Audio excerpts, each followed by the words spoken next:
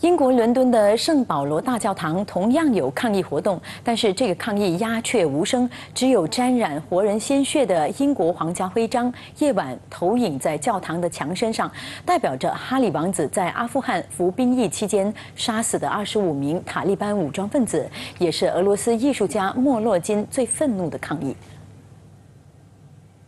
And I believe that everyone who kill people, even it's for democracy or for peace, is the same criminal. So Putin is a bloody criminal, Prince Harry is a bloody criminal, and anyone who killing people it's a bloody criminal. So this cathedral will be filled by blood and will be leaking by the blood. So it's in this uh, message that it's uh, the last uh, bloodline. 这个艺术作品的红色颜料是来自法国和英国六名阿富汗难民捐出的鲜血。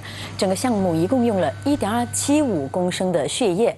莫洛金特意用成品点亮英国国王查尔斯和已故戴安娜王妃在一九八一年结婚的大教堂，讽刺意味十足。